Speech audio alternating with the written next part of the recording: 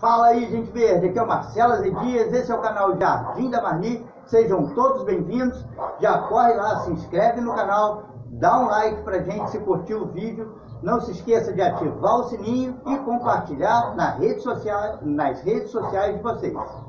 E aqui, como vocês podem ver, eu estou com essas duas carunculatas aqui e o caso de estiolamento grave. Como eu resolvo isso? Vamos entender tudo que está acontecendo aqui. Como vocês podem ver aqui, nessa carunculata, ela tem o seu caule longo, sem folha nenhuma, e ela vai crescendo toda a vida e ficando com esse caule cada vez mais longo. Ela não vai parar por aqui não, ela vai continuar crescendo e isso aqui cada vez mais comprido. Isso não é estiolamento. Percebam que é, é uma planta bem formada, completamente simétrica, a, a distância entre as folhas são bem pequenas e é, são iguais. Todas as folhas estão distribuídas com a mesma distância entre si. Está uma copa bem formada, bem compacta e simétrica.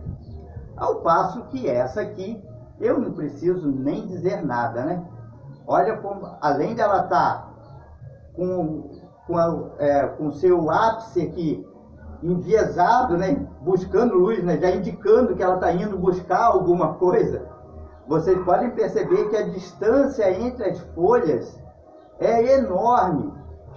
Está aqui dando um centímetro e meio, e algum, em alguns casos aqui até dois centímetros. Isso mostra o quanto ela está estiolada. Ela estava se esgueirando em busca de uma fonte luminosa.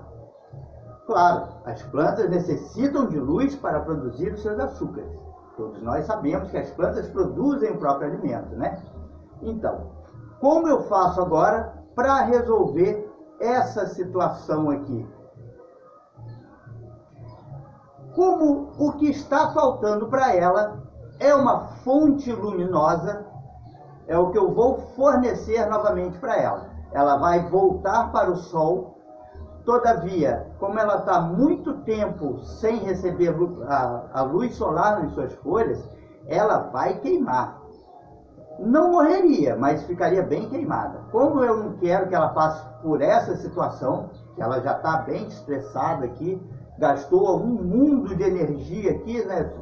Cara, imagina quanta energia uma planta não gasta para é, crescer nessa velocidade que essa aqui cresceu e, e, ainda se movimentando. As plantas não se movimentam tanto assim, né? Então ela gasta muita energia para isso. Então é, é até uma sacanagem, entre aspas, eu estressá-la mais ainda. Então ela vai para o sol, porém vai aos poucos. Ela vai ficar até as 9 horas da manhã no sol, depois eu tiro e põe depois das 4 horas em diante. Farei isso por umas duas semanas, ou talvez até menos, vai depender muito de como ela vai se desenvolver, mas por pelo menos duas semanas, depois é sol pleno na cabeça. Vou esperar, né, é, o processo se dará da seguinte forma, esperarei essa copa dela ficar simétrica, robustecida, as folhas bem distribuídas, eu irei decapitá-la quando chegar nessa situação. Esperarei as raízes virem e plantarei e ela será feliz para sempre. A haste que sobrar produzirá novos brotos, novas mudinhas que também serão felizes para sempre. Entendeu o processo de como recuperar? Não é difícil. Espero que vocês tenham curtido esse vídeo. Fiquem todos com Deus, um beijo no coração de vocês e até o próximo.